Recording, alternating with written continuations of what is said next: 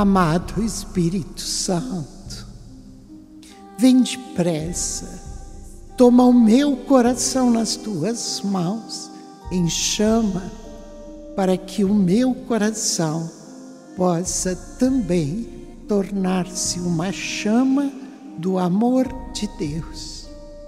E que eu possa mergulhar, entender e viver a palavra de nosso Senhor Jesus Cristo que nos é trazida em seu Evangelho por São João, capítulo 7, versos 1 e 2, capítulo 10, versos 25 a 30.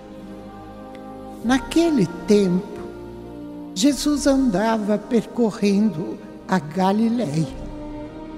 Evitava andar pela Judéia porque os judeus procuravam matá-lo. Entretanto, aproximava-se a festa judaica das tendas.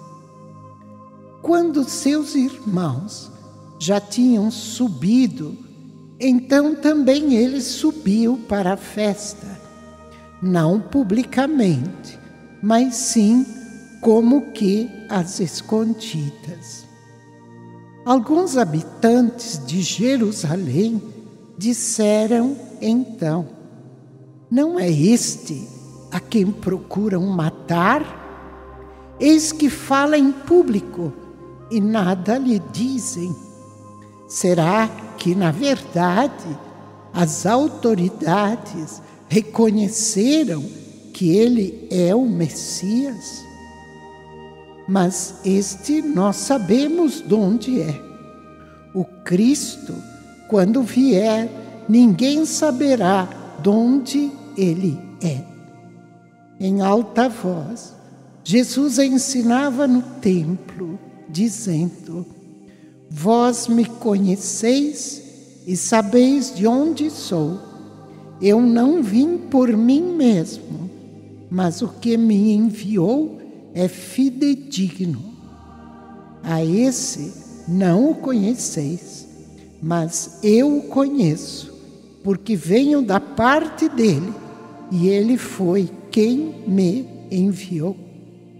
Então queriam prendê-lo, mas ninguém pôs a mão nele, porque ainda não tinha chegado a sua hora. Palavra da salvação. Glória a vós, Senhor. Notamos neste texto do Evangelho como as situações, as realidades estavam cada vez mais cercando Jesus. Já há algum tempo, os mestres da lei, os anciãos, os hipócritas dos fariseus já haviam pensado em matá-lo, em calá-lo. Porque o que Jesus dizia não conferia com suas expectativas e seus interesses. Então Jesus está subindo para Jerusalém. Este termo subir significa é como que levantar-se numa autoridade maior, numa autoridade do Espírito. E lá, Jesus, mais uma vez, em alta voz, proclama de quem ele é filho, ele é filho de Deus.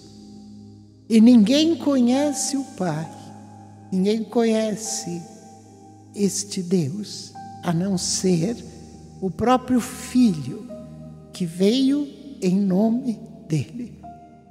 E é interessante porque alguns começaram a se questionar: será que os grandes, as autoridades, compreenderam que ele é o Messias? Será que pararam de persegui-lo? Será que nós já compreendemos já aceitamos e já estamos vivendo este Deus, Messias, Salvador, este Filho de Deus, ou ainda queremos persegui-lo, matá-lo, calá-lo. O Evangelho sempre deve nos remeter às profundezas da nossa própria vida, do nosso próprio coração. Eu já aceitei o Filho de Deus como meu Salvador, como aquele que restaura em mim a dignidade que tenho de filha de Deus. Será que já aceitei verdadeiramente, através da obediência, a Sua palavra? Será que sei que Ele é a porta do céu para mim? E não há outra porta que me faça entrar na vida eterna, a não ser esta porta do coração do Filho de Deus, que foi rasgado quando estava crucificado, e dele saiu o sangue e a água, fontes de vida e vida eterna. Será que já abracei isto tudo com relação a Jesus? Ou faço parte daqueles que querem calá-lo, querem matá-lo, querem reduzi-lo a uma piada? O que se passa dentro de mim?